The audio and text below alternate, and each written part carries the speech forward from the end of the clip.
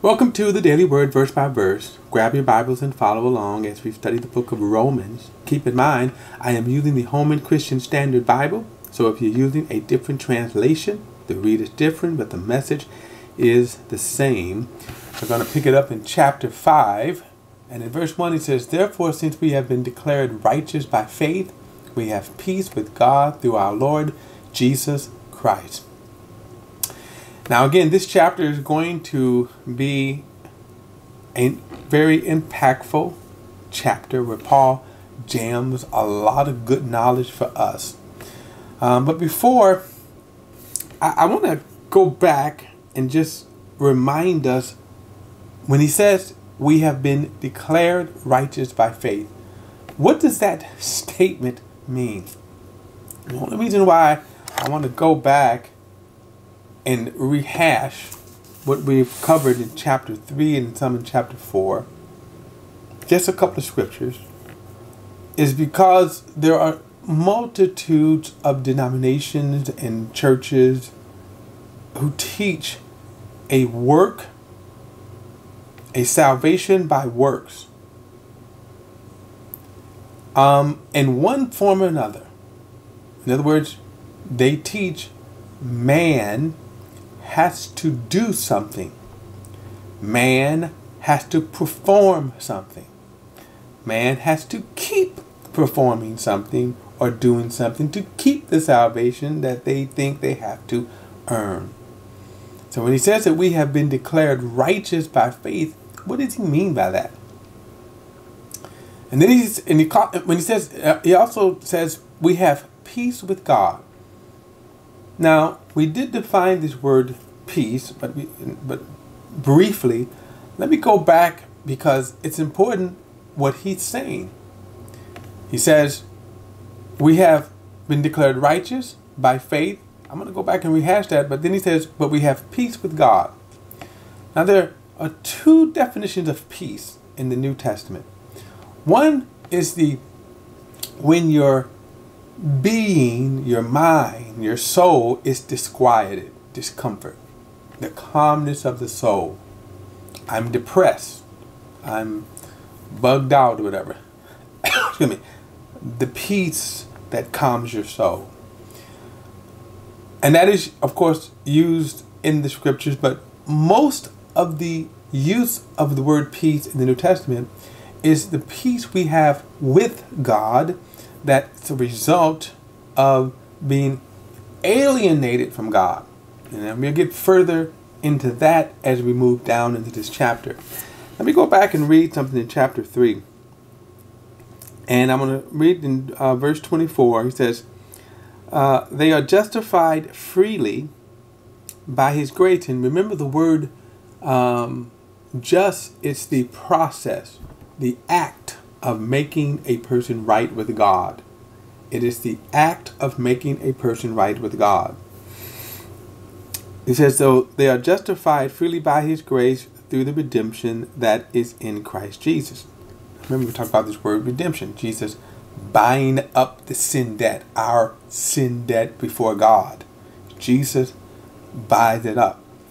And then he says, and then God presented him as propitiation through faith, the word faith again, through faith in his blood, the blood was the price of redemption. This is what Jesus paid for our canceling our sin debt before God. Now, the reason I wanted to show that is because notice he says God presented Jesus as propitiation. Remember the word propitiation is that the sacrifice that satisfies. In other words, God was satisfied with what Jesus did, not with what we do.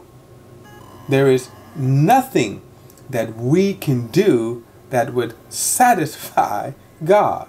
But Jesus satisfied God. And then God presents him to us to say, this is what you believe in. So when he says right here that we have been declared righteous by faith, remember that's what God presented. He didn't present a list of works, which is silly since we had the Old Testament law.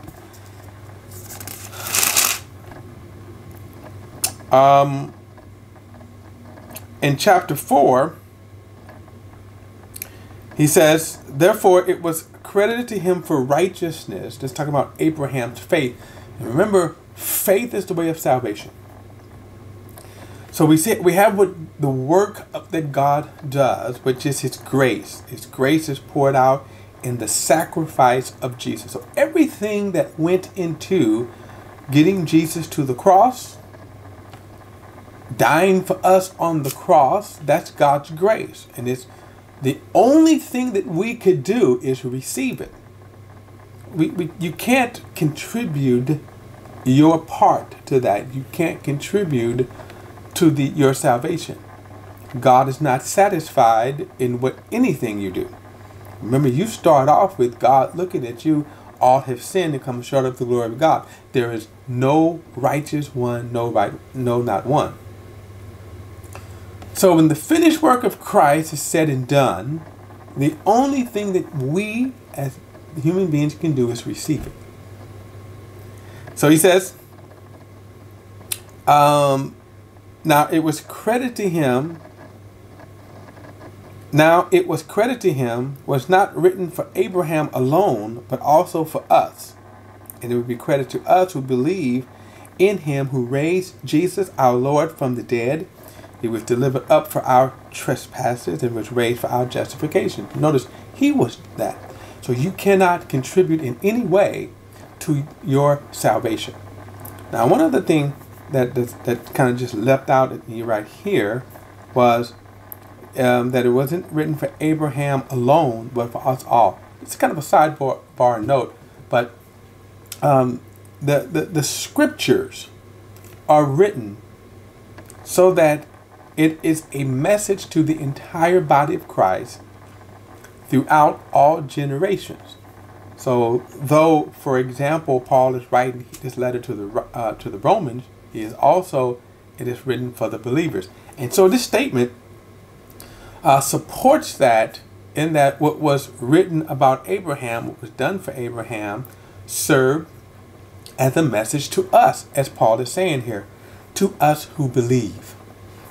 So he come. So when he says in verse one again, and Romans chapter 5, he says, Therefore, since we have been declared righteous by faith. So again, everything that God has done for us in Christ, this is the grace of God.